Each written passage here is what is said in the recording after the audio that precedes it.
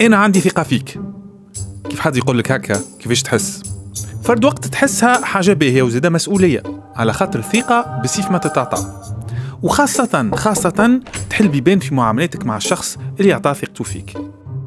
معاملات كلمة مهمة.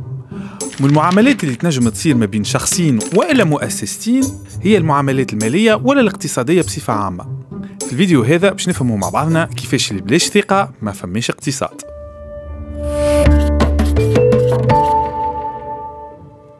تصور نقلت الحومة جديدة. وتحب تمشي تشري من عند خضار الحومة أول مرة وخذيت من عنده كيلو بصل. وأنت مروح تفيق العطار رجع لك 100 فرنك ناقصة. صحيح مش برشا. أما فما شيء باش يصير في مخك. العطار هذا غشاش. وعلى 100 فرنك ضاعت الثقة. الفكرة هذه برك تخليك ما عادش تحب تمشيله تقول لجيرانك اللي ما لازمهمش يمشيولو العطار من شيرة باش ينقص له مدخول. وانت من شيرة أخرى باش تولي تمشي أبعد وتخسر فلوس وتخسر وقت جوست باش تشري قضيتك. وحركة اقتصادية صغيرة بكلها تنقص. على خاطر ثقتك في العطار تحت. باهي. تصور توا خلطت عليك العطار. ويقول لك سامحني خويا راك ناقص 100 فرنك متأكد أنك باش تولي من هارتها حريف مضمون بالحكاية هذه عرفنا الثقة بجزء منها اللي هو النوايا يعني الشفافية والعدالة. لكن الثقة تشوفها زادة في الكفاءة والقدرة على التنفيذ. مهما كانت نية الخضار إذا سلعته باهية ولا ديما تلقى عنده الخضرة الكل ترجع له. والعكس بالعكس. إذا الثقة تتبني على حاجتين النوايا والكفاءة. المثال هذا طبقناه عليك أنت والخضار. تصور توا الحكاية هي بيدها تطبقها عشرات ومئات المرات في مجتمع بكله. والحركة الاقتصادية الصغيرة تعودها كيف كيف عشرات ومئات المرات. تشوف امباكت على اقتصاد المجتمع الكل. كل ما فما ثقة بين مختلف مكونات هالمجتمع كل ما فما حركة اقتصادية. وكل ما تنقص الثقة كل ما الحركة الاقتصادية تنقص. الكلام هذا مش نظري كهو. الكلنا نعرفوا قديش المجتمعات ما تتشابهش في قديش أطرافها عندهم ثقة في بعضهم. كي تسأل السويديين 62% عندهم ثقة في بعضهم. الكوريين مثلا 33% والبوليفيين 8.5% وكل بلاد عندها نسبة. إجا توا نعملوا طلة على نسبة الثقة المتبادلة في كل بلاد. كل ما تطلع كل ما الناس عندها ثقة في بعضها. وتوا على قديش الدخل الفردي نتاع كل بلاد. كل ما تمشي على اليمين كل ما المدخول يطلع. وتوا نحطوا بلدان العالم الكل. البلدان العربية هاكم بالأحمر. لاحظت شي حاجة في أغلب الحالات الدخل الفردي ونسبة الثقة مرتبطين ببعضهم نوعا ما. وهذا اللي يفسر اللي البلدان اللي ممكن أنك تخلص وحدك في magasin وتخرج اقتصاديا لاباس عليها. أكثر من البلدان اللي فيها لازم تعدي برشا وقت باش تعمل تعريف باللمضه juste على خاطر الناس ما عندهاش ثقة في بعضها كي يجيو يصحوا عقد تجاري. Thank you.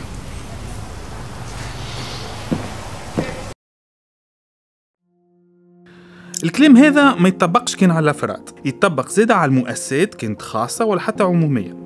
تصور شركة جديدة بدأت تخدم في السوق. الشركة هذه عطات وعود كبيرة لحرفائها إذا الشركة هذه ما وفتش بوعودها شنو يصير؟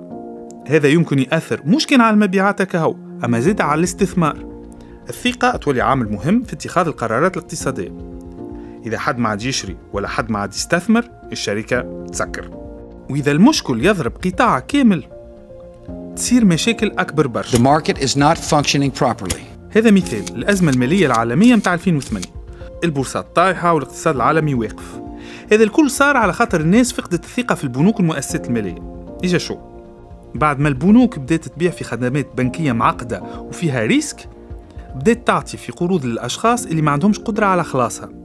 على أمل أن أسعار العقارات تقعد ديما طالعة. وكانوا البنوك يبيعوا للمستثمرين في القروضات هذه في وسط خدمات أخرى. وما كانوش واضحين فيما يخص المخاطر والريسك. ومع الوقت الأزمة بدأت تتفاقم كي أسعار العقارات بدأت تطيح. والناس فقت بالحقيقة فقدت الثقة في البنوك والمؤسسات المالية اللي كانت تتعامل معها. الناس بدأت تسحب في فلوسها والمستثمرين بدأوا يبيعوا في كل شيء.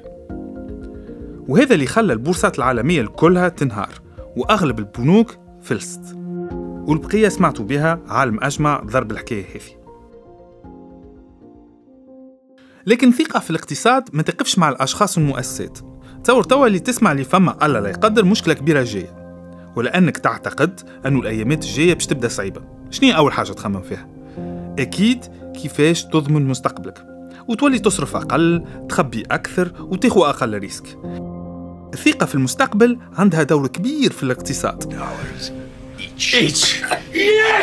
نتصوروا عندك فكرة مشروع صغير وتخمم أنه الظروف الاقتصادية باش تدهور في الحالة هذه تتردد وتبطل وما تبداهش المشروع. على العكس إذا كنت واثق من المستقبل تبدأ المشروع بحماس واندفاع. الثقة هذه هي اللي تعطيك الجرأة باش تاخذ خطوات كبيرة. وكيما في أول الفيديو توا تصور لي برشا ناس كيفك يخموا ويتعاود المثال عشرات ومئات المرات في مجتمع كامل أفرادا ومؤسسات. إذا فما ثقة في المستقبل الناس تشري وتتاجر وتستثمر وعجلة اقتصادية كاملة تدور. وإذا لا العجلة كلها تقف. لاحظت شي حاجة. عمرنا ما تحدثنا على هل الثقة هي مبنية على حاجات صحيحة ولا غلطة. الثقة مبنية على المعنويات. إذا ثقة موجودة ومهما كانت الوضعية باهية ولا خايبة بالحق. الناس باش تتصرف بطريقة تخلي العجلة الاقتصادية تدور وتبدل الوضعية حتى لو كان في الأصل خايبة والعكس زاد صحيح. الثقة هي أساس كل علاقة ناجحة سواء كانت شخصية ولا اقتصادية. ممكن حتى نقارنوها بالزيت متاع المحرك الاقتصادي. كل ما تزيد الزيت كل ما المحرك يدور أحسن. وإذا عجبتكم الفيديو إن شاء الله توليوا عندكم ثقة في محتوانا. وما تنساوش تعملوا لايك واشتراك في القناة. ونتقابلوا في فيديوهات أخرى باش نواصلوا نحكيو على مواضيع تهم الاقتصاد والمجتمع.